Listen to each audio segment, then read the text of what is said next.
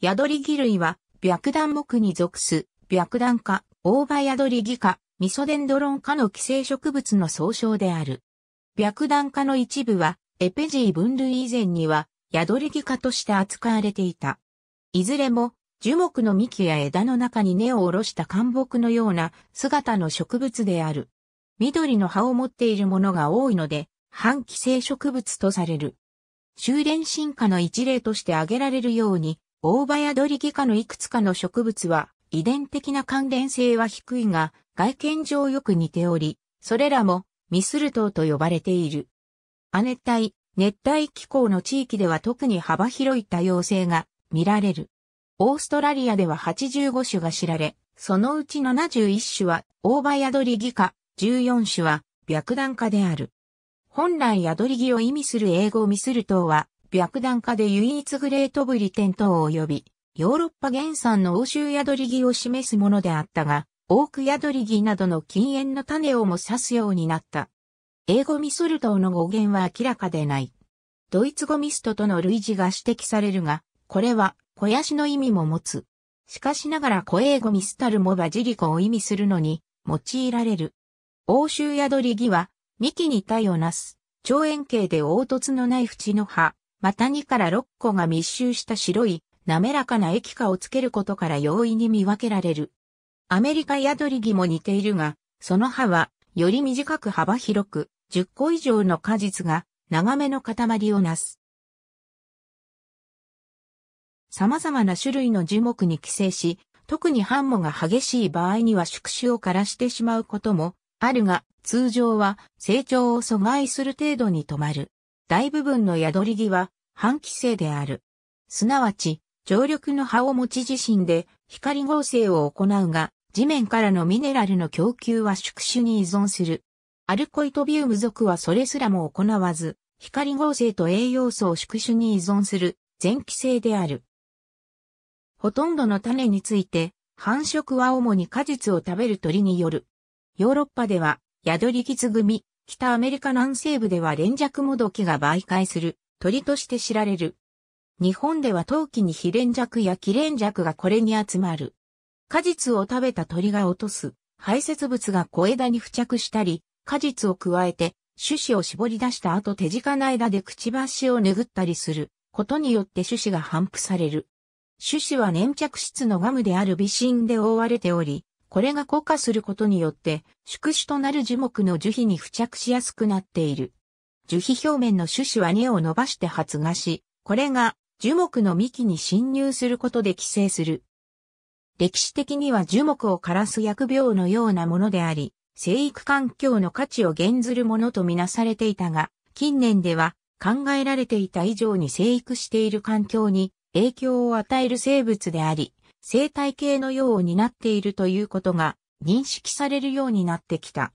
多種の動物が宿り木の葉や新芽を食事とすると同時に、受粉や粘着質の果実の拡散を助ける。また、密集した常緑の葉は、休憩や巣作りの場を提供する。宿り木類に営巣する鳥として西アメリカフクロウ、マダラウミスズメ、オオキンカチョウ、蜜水などが知られる。実際に宿り木に巣作りを行う鳥類は現在、確認されているよりもずっと多いとされ、オーストラリアでは樹上に巣を作る240種以上の鳥は宿り木に営巣することが知られており、これはオーストラリアに住む鳥類省の75%以上を占める。宿り木の量が多い地域は、より多様な動物を養卵することから、このような相互作用は生物の多様性に劇的な影響をもたらしているとされる。すなわち宿り木は、疫病であるというよりも、むしろ生物多様性に良い効果をもたらし、森林に住まう多くの動物に品質の良い食料と環境を提供している。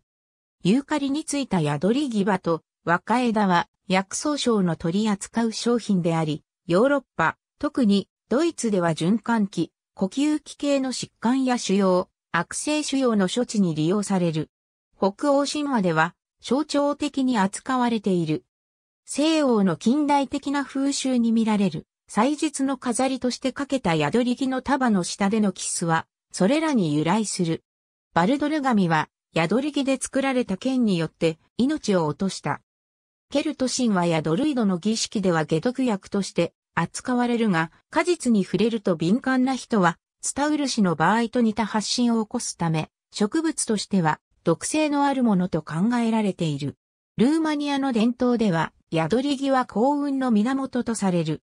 薬効やそこから想像される魔法的な性質は未だに利用されており、田舎において特に顕著である。この慣習はダキア人から受け継がれている。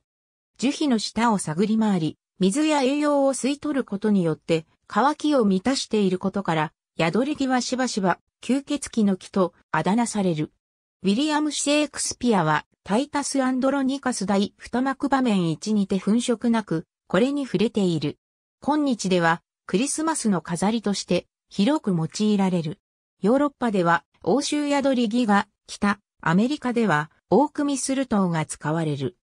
クリスマスでの風習の一つとして、宿り木の飾りの下で出会った二人は、キスしなければいけないというものがある。2004年にオクラホマローズと入れ替わるまで、宿り木はオクラホマ州の州の花であった。紋章には2019年現在も使われている。北欧神話のミスティルテインは、宿り木の剣であり、ドルイドは宿り木の下で儀式を取り行った。また、イタリアのネミにおける宿り木信仰が禁止編にて述べられている。